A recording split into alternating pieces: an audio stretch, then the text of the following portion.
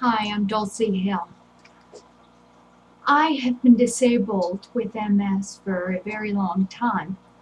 And uh, what I want to talk about right now is the relationship I've had developed with a higher power, with my God, and the importance of faith in getting you through uh, the struggles that you are exposed to when you have a disease like ours. Um, when you're working full time or when you have kids or you're worried about exercising, you're distracted and you don't get the chance to research probably the most important thing in the world. Um,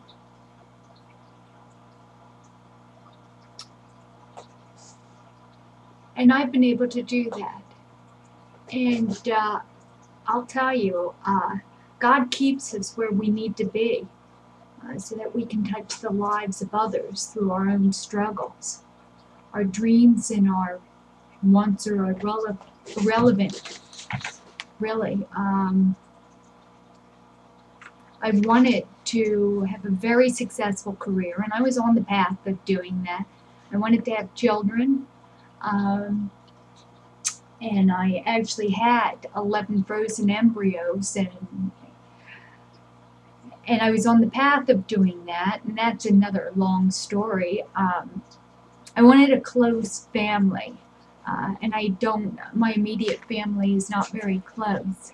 I've got that with uh, my mother my father um, who I'm on the phone with every week but uh, it gets tough because I want it to be very close. We moved here and I want it to be close.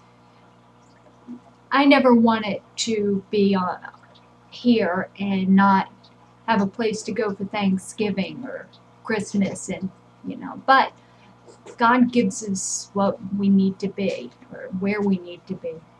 Um, I never wanted to struggle financially. Um, I wanted good health. I wanted to be able to walk. I loved skiing and dancing, but uh, it's just, it wasn't in the cards. So, uh, being in a situation where I could have been so disappointed with my lot in life, it leads uh, a lot of people to suicide. And, and uh, what's the point? What's the point? If, if I can't have I don't have children, I'm in a happy marriage, um, I have a, a, cute little home um, that's small enough that I can keep clean, you know, but, you know, if I can't do the things I love, if I have to use uh, a walker to walk the mall, which I no longer walk the mall, it's, it can be very frustrating. It can be upsetting.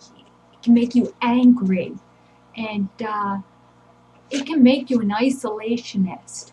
And I know we all feel that. I know anybody with a with MS uh, who's had it for a while, when you can't keep up or, or behave in a certain way, if your cognitive issues uh, interfere with your uh, social interactions, you tend not to commit. You want to stay home. You don't want to go out and, and, subject yourself to embarrassing situations. Sometimes when I first got my cane, I didn't want anybody to see me with a cane. Um, and I still won't do a motorized scooter unless it goes at least 15 miles an hour. Um, yeah, I can't be low. It, it's, you know, it, it's my hang up there.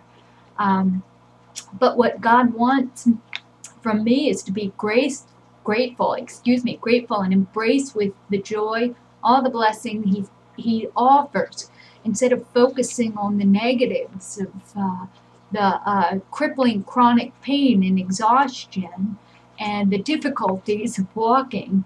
Um, instead of focusing on that, to uh, to ask God to put me in front of someone I can serve.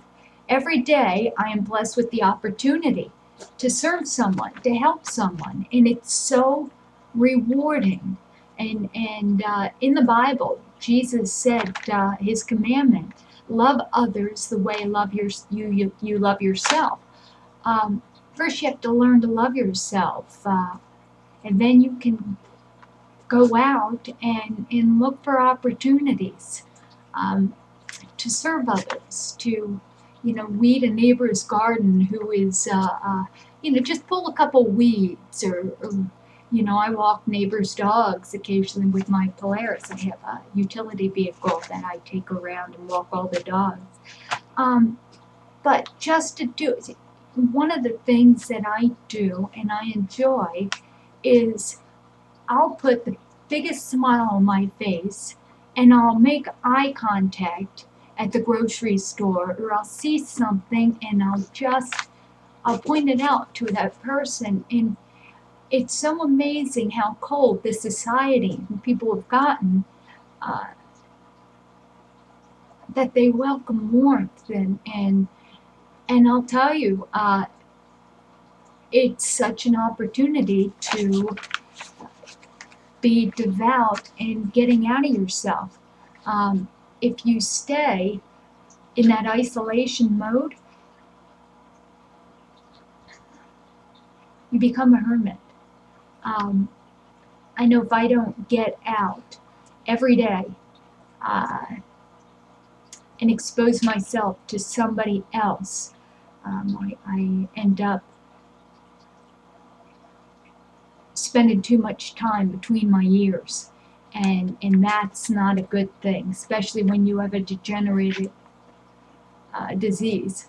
Um, it's, it's, it is a blessed, it is blessed to be a blessing, and I'm content in my role in His will for me and not my will for me. Um, I was on the path. Um, I had married the right person. I had the right career. I, I had planned it all. I had planned it all. And uh, um, God knew better. I don't think I'd ever be content if I haven't hadn't gotten MS and I hadn't been humbled beyond all imagination. Um, because I can glorify the Lord through my actions.